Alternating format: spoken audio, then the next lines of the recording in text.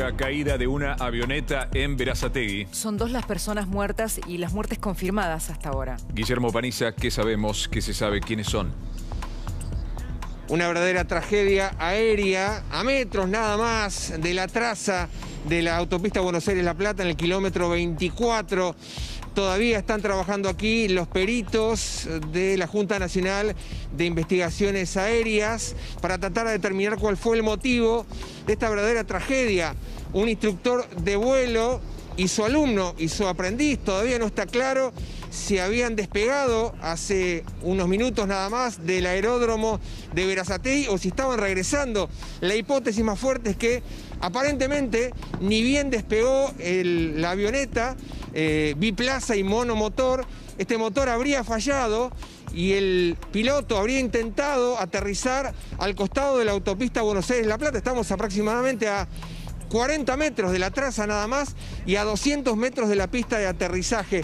Los esfuerzos del piloto evidentemente fueron infructuosos, se precipitó violentamente a tierra esta avioneta, que hay que decir es una avioneta Piper Tomahawk, que tiene un muy bajo índice de siniestralidad, tiene muy pocos accidentes por lo general, se utiliza para entrenamiento, para turismo y también para vuelos de bautismo.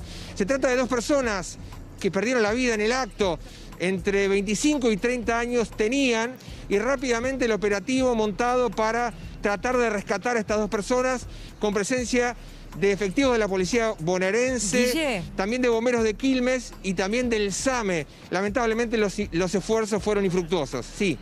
Eh, hay, una situación dramática que ha trascendido del relato de esos, segundos finales, cuando se estrella la aeronave y es que eh, eh, cayó al lado de la autopista, o sea, había gente transitando por la autopista, conductores que estaban observando la situación, y fue por una cuestión de metros que, bueno, que no cayó allí. Uno se pregunta si acaso el propio piloto termina maniobrando para no estrellarse en la, en la, en la, en la autopista, ¿no?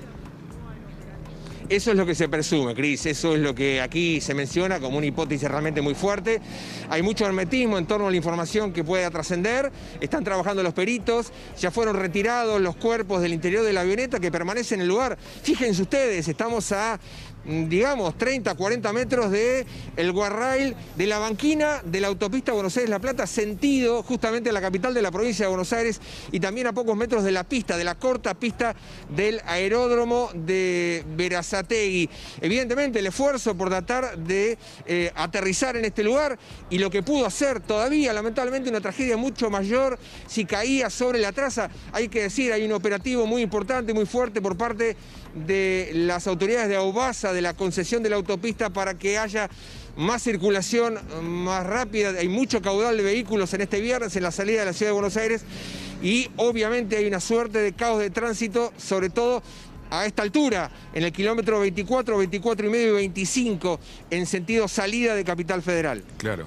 Eh, son dos los aeródromos que tiene la traza de la autopista Buenos Aires-La Plata. Uno está en el camino a Punta Lara, cuando uno llega a la ciudad de La Plata, y el otro es este. Ambos estaban, claro, tenían vida propia antes de que existiera la autopista, pero quedan diríamos, a centímetros, a pocos metros de este tipo de hechos, de este tipo de siniestro que no es el primero que ocurre. Guille, el último episodio acá había sido el aterrizaje de un supuesto, de un supuesto empresario de cítricos que terminó con balazos resistiendo un ataque hace poco más de un mes, en este mismo aeródromo.